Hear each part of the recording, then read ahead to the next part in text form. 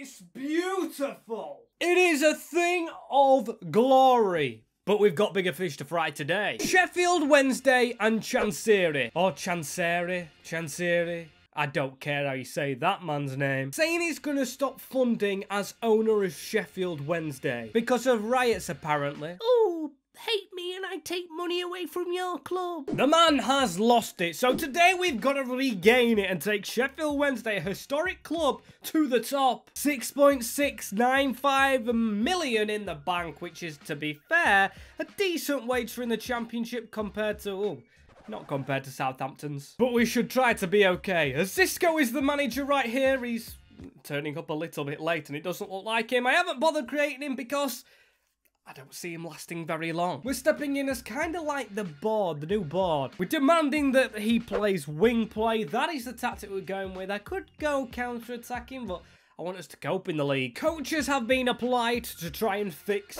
this team. Barry Bannan, Josh Windass and Vasquez are our only players over the rating of 70, which isn't good, but then again, we've got to rotate this squad around. This is what we're going to switch it up to. So we've gone with a big formation relying on wingers because that's the thing we want to play. The problem is, our right winger is Musaba, who to me looks like the weak point. Defense could do with a bit of strength and we know the midfield is our strongest point. Thing is, look at the wage bill. We've got some high wages to say they've just come from League One. Barry Bannan, Robiners. Oh, and John Buckley and Devis Vasquez are actually only on loan.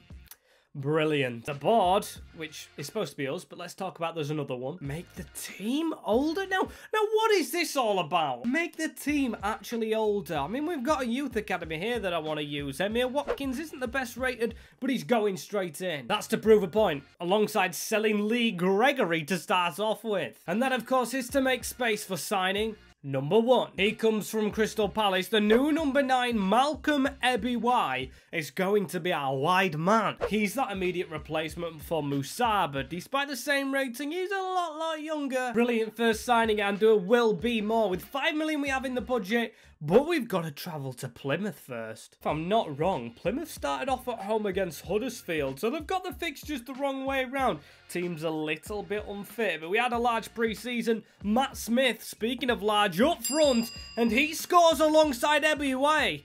We've got more wins than they actually have in real life already. A brilliant start for that man right there, and we do have another signing, but this is only a loan signing. It didn't pop up straight away, but welcome to the club from Union Berlin, Van Duven, who's only 18 year old, and I wish it would have been a loan to buy. But you know when you get a young striker in, you've got to get an old one to go with that, so we've got Ogawa from, I think, the Dutch League? Yeah, I'm correct in saying that. 1.9 million. We do have 2 million left, and our start to this season has been pretty solid. The only question is, will Sheffield Wednesday be okay for the remainder of the season? And the answer to that question I asked moments ago is we're okay. 17th. I mean, it's worse than I thought it would be. But when Ipswich are 19th, you know the league's a little bit on its head. Morale-wise at the club, we've got a bit of a problem going on. Transfer requests already. I, are you joking? I think we've got a fight to keep his job. So maybe to do that, we've got to sign some older players to keep this board happy. But we've only got 2 million so far. Absolutely brilliant. The one that I'm trying to save us with is Aron Gunnarsson. Could he fire us up the table? It's got Gunnarsson in his name, do you get it? Please tell me he can fix his problems. As Cristian Ansaldi as well, he's 37. This team is absolutely shattered, but please tell me it can survive in the championship for another season. Oh, and we have survived. We have survived in 19th in the league, 46 points, 22 defeats. I do not like that. I believe we kept his job for one reason and one reason only, and that's a quarter-final of the FA Cup. Every single one of them want us sacked as Michael Smith. All my days, he was top scorer. Windass and Ogawa were actually second and third respectively. Gassama actually got eight. Ebiowei only got six. This team needs some work when John Buckley leaves, who was as highest rated, but only on loan. So after one season of keeping our job successfully, they make things even harder. Sign a crucial player and make almost £9 million in profit, as then they want, of course, more old players. Budget-wise, it's got a lot better, so he's put some money in. Them bullies must have gone away. Chairman not scared of his fan base anymore, as this is the team that we still have, and I wish I could sign young players, because that's realistically not getting promoted. What if we just blanked the objectives? I'd love to, but I think we'd get sacked. So before we spend this money, I'm doing contracts, and I've just realised this guy's called Pierce Charles. Very close to Prince Charles, who of course doesn't exist anymore. It's King Charles, but Bit weird that he's here at Wednesday. It doesn't matter that he's actually here, because we'll be replacing him straight away with Scott Carson. We need old players. I know it's a free signing, but hey, we need old players. At least he's not coming across alone because Ryan Ledson has actually signed from PNE, coming across from North End. He's cost us his first big sum of money, which is 1.4 million. And I hate to do it again, but another free agent now in Yunis Abdelhamid. I seriously hate these expectations placed upon us because we're signing players to get promoted, like Tyler Roberts. To be fair, Birmingham's up there, but mm, that's not a promotion player. It's an okay team. It should survive. But there's no way that's pushing for anything. So let's just go into this season with Roberts. Against one of his former clubs in QPR, do I have faith that we start off with a win? We actually do. I questioned the faith literally moments ago, but we've won the game Ledson and cocky with two. Am I getting cocky, but is this a good start? And I didn't check as well, but we need to make some more signings because there's expectations on a rivalry this season as the Blades are back in our division. So dragging in a youth prospect now. I think I'm going to ditch the old man approach and that's Cyver. That's what we're calling him not by his second name. So this season, to be fair, we're expected to fight for promotion, but I just want to be above Sheffield United. So the first player, Kenneth Paal. We've stole from QPR, who we beat on the opening day. And another team we beat in the run-up is Bristol City. So we've stole Ross McCrorie, who's a right back from them. He's on a high wage, however, as them two players deplete the budget, but complete the team. Oh, and this season, the first result, we can only talk for the first result, against the Blades was two apiece. The results overall didn't look too bad, as we're not sitting too bad. Ninth in the league, already a little bit through January. Does this count as a fight for promotion? Oh, the rivals are sitting bottom of the spot. Five points clear, so we've got to leapfrog them, please. It's also worth saying, with them scouts or or coaches, whatever they're called, we did put them on defence, and it's improved our fullbacks magnificently, and Bernard. But McCrorie, oh, McCrorie looks fabulous. Bench looks good as well. No one's actually asking to leave the club. I just mean Josh Windass being unhappy, but he's got no choice. He stays. He hopefully scores in another promotion final. The only player that we've actually signed in this window as well is one walking through the door in Julian Faznier. I can't say that name, but he's 40 year old. And you know what objective that completes? Oh my days and ladies and gentlemen, Sheffield Wednesday are a championship playoff outfit. What did I just say about Josh Windass? What did I say? What did I say? What did I say? We got 16 goals out of Djeidi Gassama, who actually isn't a starting player in this squad. Tyler Roberts with 12, Ogawa with 11, who's actually the main striker, which is a bit confusing. Players growing at phenomenal rates. The only worry now is one of our defenders in Abdelhamid has gone down, so Diaby has to step in, despite being very angry with being stepped out in the first place. And Prince Charles, or Pierce Charles, is back on the bench for this one. And this first game right here is going to be a 2-2 against a Gegenpressing Watford. Diaby actually stepped in the team and did score late on. You can tell we've got a good defensive coach because both players were defenders who scored. Being Xisco in this save, I did actually look at a lot of Watford players, but I did look at their ability to take penalties. As Asprilla has let his team down. Oh, and Hurtado, but Josh Windass with a miss Okay, he's saving it for the final, which we're going to! And I am very intrigued what's going to happen here, because Luton Town are our team in the playoff final. Come on, Rob Edwards. Rob Edwards warming his players up, but that man right there, Josh Windass, the camera picked up on him, because they know what he can do at this stadium. They're going to actually have the first attack right here and squeeze forward with this through the legs, and Juckler has scored the first goal for the Hatters. Behind in the final. Behind on the chase. Oh, and it actually could get worse here as well. He's got a penalty as the main man, and he sent us the wrong way. It's going from bad to worse. Oh, Luton Town are teaching us a lesson right here. As Dude has slipped it in for three. As eventually we do get beaten, and that's us losing in the final. Good luck to Luton, but we've got to be up there next year. Right, okay. We're getting rid of all the old boys because we don't need to do that anymore. We need an Englishman, we need youth players, and we need to be automatically promoted. The team definitely getting there. I mean, Mannsverk in that midfield is absolutely amazing. Same with McCrorie, and same with the budget. Without further ado, I'm going to dive into half of these players on this list because you know we've got to sign a few. My days it feels good to sign players who aren't ancient. As we're doing a bit of the Devise shopping, Ruben van Bommel joins Mannsverk from of course, the Dutch leagues. But joining them both from that league is Richard Ledezma. Unrecognisable with those two signings is the Sheffield Wednesday squad, as all we need now is either a centre-back, goalkeeper, or both. Nah, I'm gonna go just for the signing of one of these, and it's gonna be a goalkeeper. Bailey Peacock Farrell returns to the Owls. So with everyone into the club, that is how the team looks. You can see Peacock Farrell just hiding there. And we play Stoke at an 8 o'clock kickoff. Wow. We obviously don't look prepared for this season, but we've got to be, as we've got to get automatically promoted somehow. And halfway through this season, look at us, we're going absolutely flawlessly. I mean, there is flaws. We're not in the automatic places, five points off. But still, if you would have given me fourth, I would have took your hand off. Where are the rivals, though? I'm guessing they actually got automatically promoted last season. I didn't check.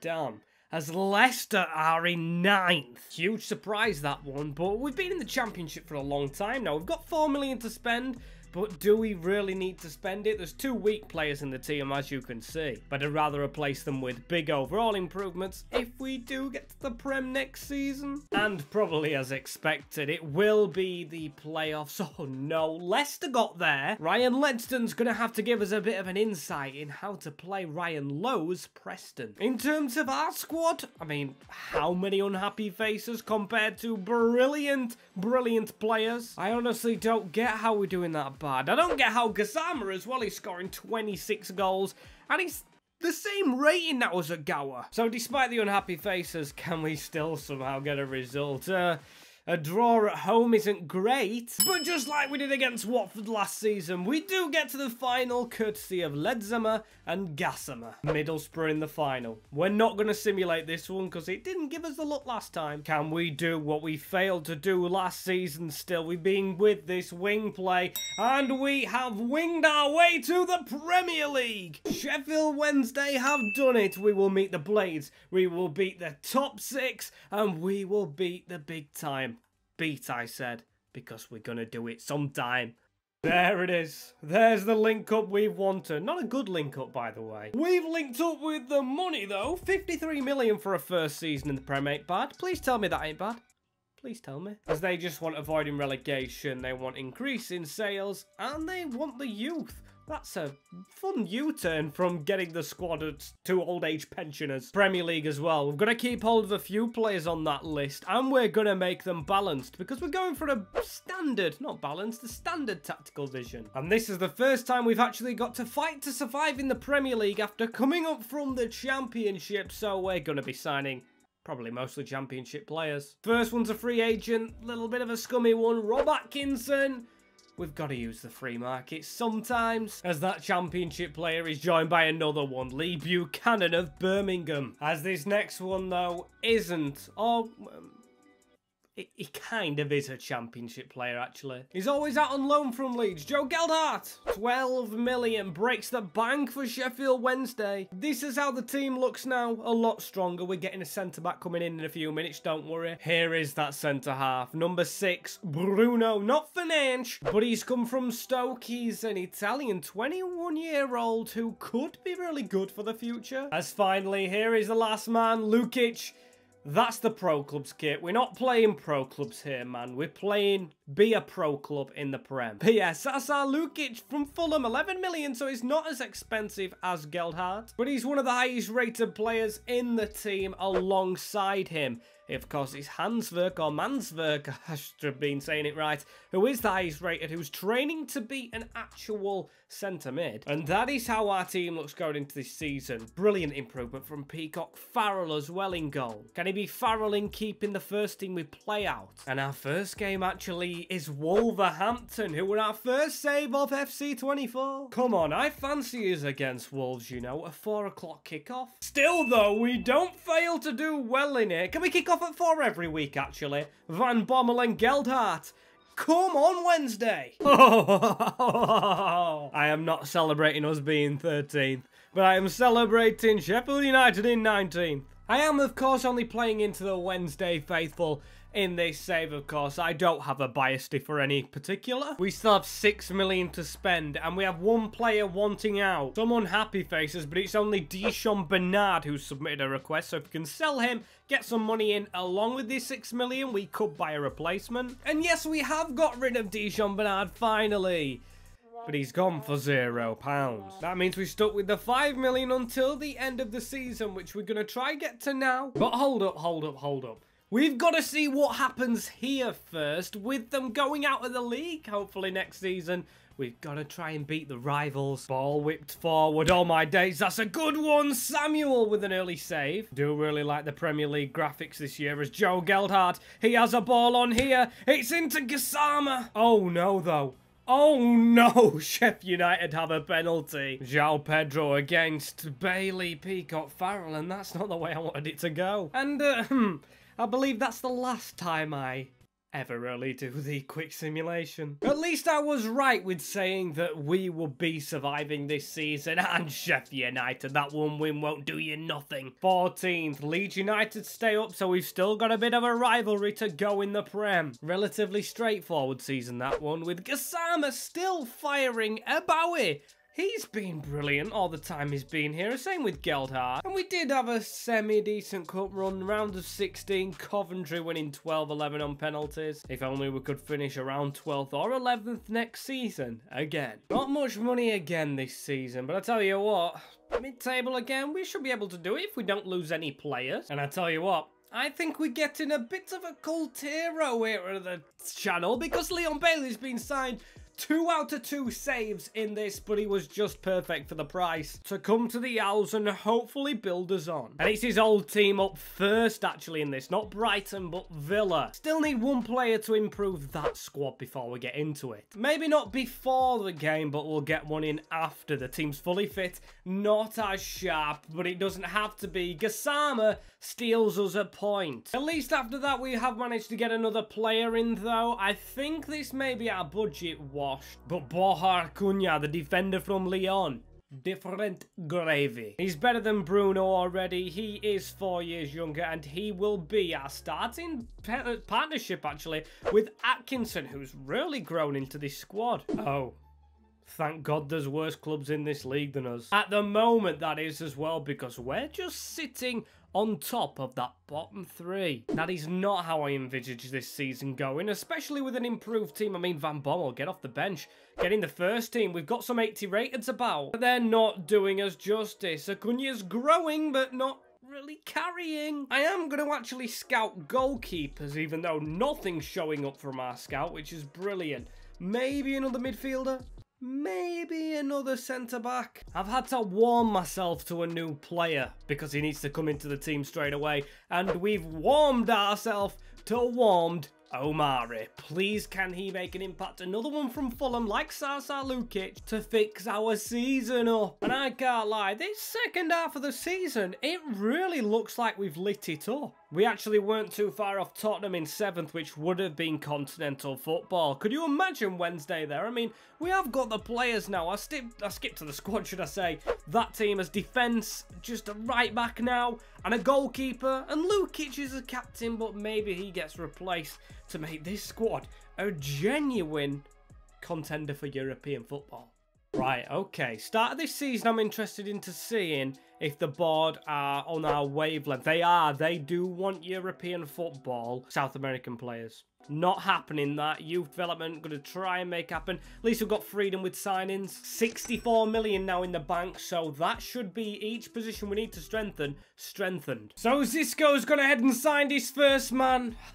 I'm still laughing that he's called Zisco, our manager. How's he not been sacked yet? Anyway, we've signed Baku from Chelsea, the German right back. He's the first one in, 22.7. Record fees continue to be broken. Oh, I was going to say ruins that last transfer record, but we can't sign Gavin Bazunu. Our second choice was Mads Hermansen anyway from Leicester City, and he's actually, what, a third of his price. Although we don't have a backup striker for this powerful squad that we have, might gamble on Musaba being the backup, change his position round and try and get money in for one position. But if I show you who we start the season off with, Luton Town. If we don't get revenge on this team that beat us in the playoff seasons ago, I don't know what he's up with us. Come on! But we actually ended up losing two games in a row after that. So we've had to bring someone in and make it a big one for the last one. No signings in January. We've kissed away the rights by signing Leon Goretzka. We've put a lot into this squad to try and fulfill the board's dreams and our own.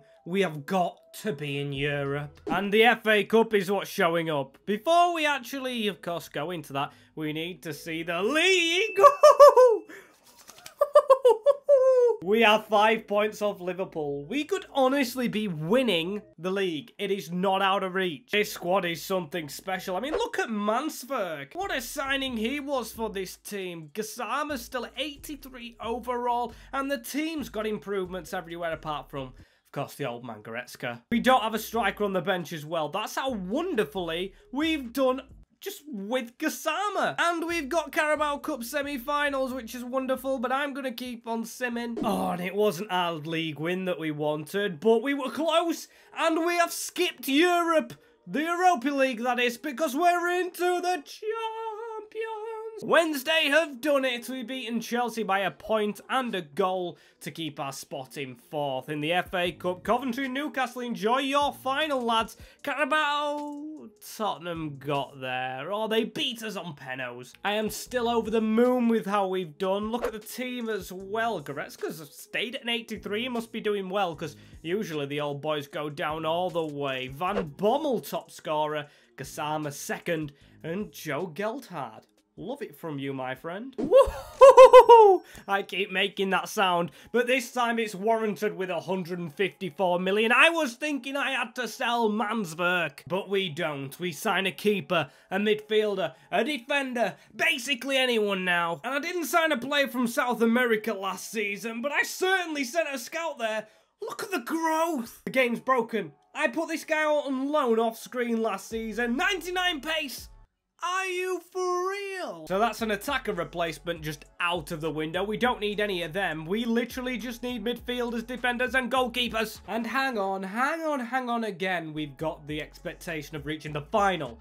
The final of the Champions League. Getting the Champions League again and reach the final of the Cup is what the board wants as well. So now now we feel that pressure. We had it good without pressure for a little bit now, but we're going to bring some boys in to try and actually push for what the board wants. So the first one through the door you might not expect, but Money Mace He's coming literally for the moolah to Sheffield Wednesday. Starting to knock on a little bit, but before he came in, we actually got another, a steal on Justin Bijlow as a backup at Liverpool. We couldn't let him stay that. He's not the only steal from Liverpool. No, no, no. As long as he doesn't fall out with Mason Mount, the Man United player. Bernardo Silva went from City to Liverpool and now teams up with Money Mace at Sheffield Wednesday. The Owls are on a hoot with the business, literally. But of course, we're not finished there because welcome, Castello Lukeba. It allows us to sell our wonder kid who's still not fully grown because we've got no time to let him grow. We've got to do it this season. Acuna, you're out and probably getting sold. That is the team for a big push on. We've got left footers in Silver and Lukeba. We headhunted them for the left foots. Or should I say we searched them by their feet, but that sounds kind of weird. There he goes, 50 million already made back. Cheers, Borja. We have 71 million to literally improve that squad.